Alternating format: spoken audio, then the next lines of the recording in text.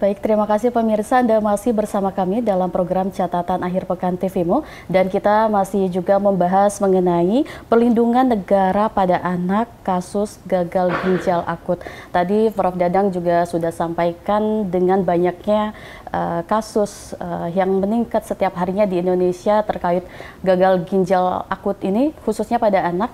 Uh, berarti memang harus uh, turun tangan semuanya khususnya dari pihak yang berwajib juga dari pemerintah. Nah, Prof dari kejadian hal ini, apakah juga ada rekomendasi dari Muhammadiyah terkait hal ini, Prof, kepada pemerintah? Ya mungkin nanti uh, uh, yang berhubungan dengan uh, ada majlis-majlis yang berhubungan dengan hmm. hal ini, apakah itu majlis hukum dan ham atau majelis MPKU yang membidangi kesehatan mungkin ini akan mengevaluasi saya. Ya. Saya saya sendiri bukan bidang saya bidang itu, tapi saya hanya melihatnya fenomena sosial ini cukup meresahkan masyarakat. Sudah sulit secara ekonomi masyarakat ini karena terjadi krisis ekonomi secara global ya, akibat dari perang Ukraina dan Rusia termasuk juga akibat dari pasca Covid ditambah-tambah sekarang ada kejadian seperti ini ya bagi masyarakat ya bingung ya hmm. kenapa sampai terjadi ya, seperti ya? ini obat yang seharusnya memberikan pengobatan kok tiba-tiba menjadi racun bagi dirinya karena hmm. memang setiap obat itu ada efek samping tetapi efek samping yang ini kan efek samping yang fatal ya. Kalau biasanya peksam itu hanya gatal-gatal hmm, ya, betul, pusing, perut kembung ini sampai fatal menjadikan ginjalnya anak itu apa apa hmm. rusak gitu. Hmm. Dan walaupun katanya ada obat, mungkin tetap ada pengaruhnya pada masa depan.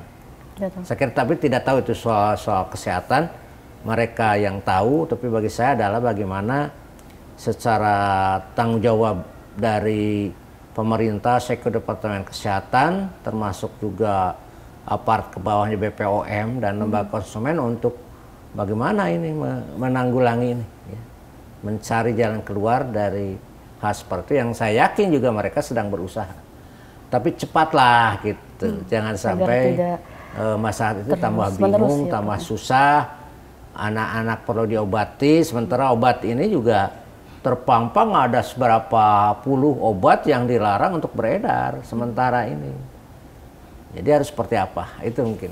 Karena memang disayangkan justru yang menjadi korban ini adalah eh, anak-anak uh, yang merupakan juga generasi uh, muda Indonesia yang seterusnya akan menjadi uh, menjadikan Indonesia semakin baik lagi ya Prof ya. Nah Prof uh, sebagai uh, Muhammadiyah ini kan sebagai organisasi terbesar di Indonesia yang juga concern tentang kesehatan. Tadi Prof menyampaikan dari Majelis MPKU Muhammadiyah. Nah kalau uh, terkait kesehatan sendiri bagaimana sih Prof uh, edukasi kesehatan yang sudah dilakukan oleh Muhammadiyah hingga sekarang Prof? Ya begini karena Muhammadiyah itu kan satu organisasi masyarakat yang juga sangat aware, sangat uh, perhatian pada keadaan masyarakat baik dari sisi uh, apa pemenuhan kebutuhan-kebutuhan biologis maupun pemenuhan untuk ke kesehatan. Mm-hmm.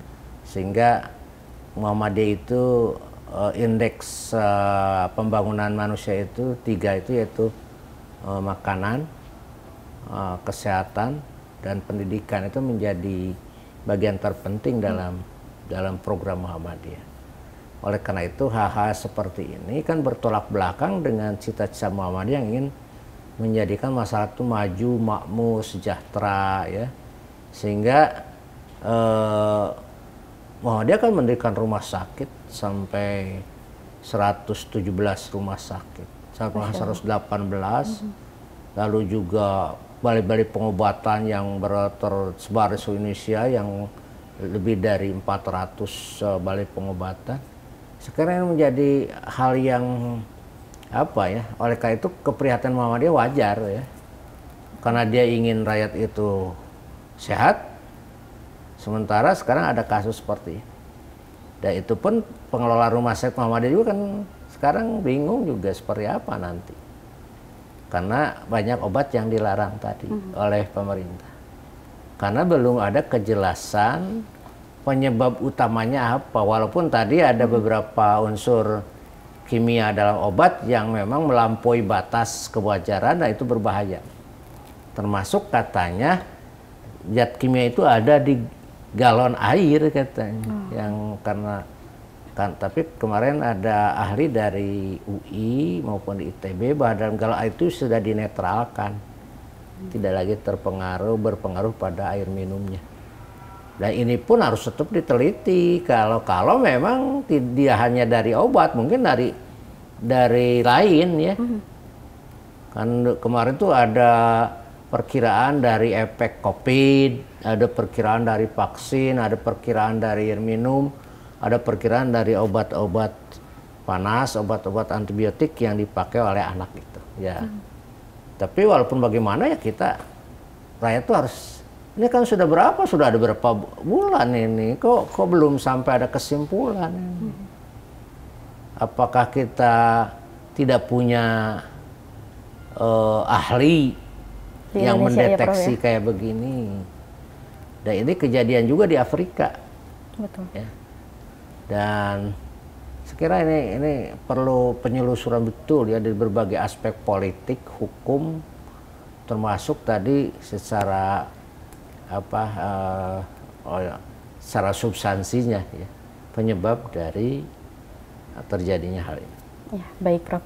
Nah, Prof tadi uh, menyebutkan uh, juga kesehatan yang di concern kesehatan dari Muhammadiyah. Nah, kalau dari MPKU sendiri atau dari Muhammadiyah sendiri untuk mencegah hal-hal ini terjadi pada kader Muhammadiyah? Saya tidak tahu karena tidak membidangi MPKU. Oke, okay, baik, Prof. Saya hanya membidangi uh, informasi saja. Jadi Dan artinya memberikan imbauan saja ya, Prof ya? ilmu sosial.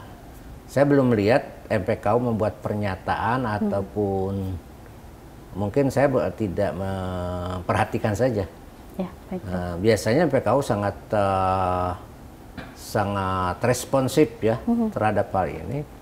Tapi saya belum dengar nih seperti apa komentar mereka tentang tentang uh, mungkin sudah ada, cuma saya tidak tidak membacanya. Baik, Prof.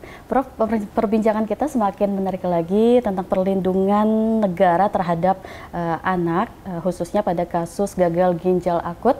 Namun kita jeda terlebih dahulu, pemirsa, tetaplah bersama kami dalam program Catatan Akhir Pekan TVmu.